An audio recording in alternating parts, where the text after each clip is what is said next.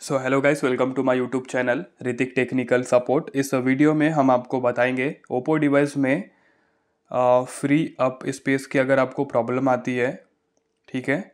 आपका स्टोरेज काफ़ी ज़्यादा भर जाता है एंड आपको सो होता है फ्री अप स्पेस तो कैसे आप यह प्रॉब्लम को फिक्स करेंगे, इस वीडियो में हम आपको बताएँगे ओके वीडियो स्टार्ट करने से पहले आप लोग हमारे यूट्यूब चैनल को सब्सक्राइब कर लीजिएगा बिल के आइकन को प्रेस कर लेना है ओके सो so, जब आपको इस टाइप की प्रॉब्लम आती है आपके ओप्पो के डिवाइस में फ्री अप स्पेस वाली ठीक है?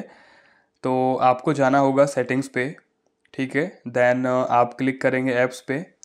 ऐप मैनेजमेंट पे क्लिक करिए। जैसे कि हमने वहाँ पे जो स्क्रीनशॉट में देखा था वो देखा था कि जो हमारा गूगल फ़ाइल है उसमें काफ़ी स्टोरेज भर चुका है ठीक है?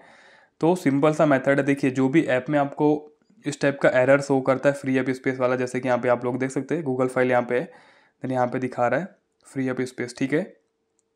तो सिंपल आपको क्या करना होगा, उस एप्लीकेशन पे क्लिक करना है देन आप उसके स्टोरेज यूज़ पे क्लिक करेंगे मैनेज स्पेस पे क्लिक करके सिंपल आपको उसका डाटा डिलीट करना है, ठीक है? सिंपल आप उसका डाटा क्लियर कर देंगे डाटा क्लियर करने के बाद आपकी ये जो प्रॉब्लम है, वो डेफिनेटली फिक्स यहाँ पे हो जाएगी, ठीक है? सेकेंड जो भी आपका यूजलेस डाटा रहता है, उसको भी आपको डिलीट कर देना है। ये प्रॉब्लम आपको नहीं आएगी, क्योंकि ये जो प्रॉब्लम है बेसिकली स्टोरेज फुल होने की वजह से ही आती है।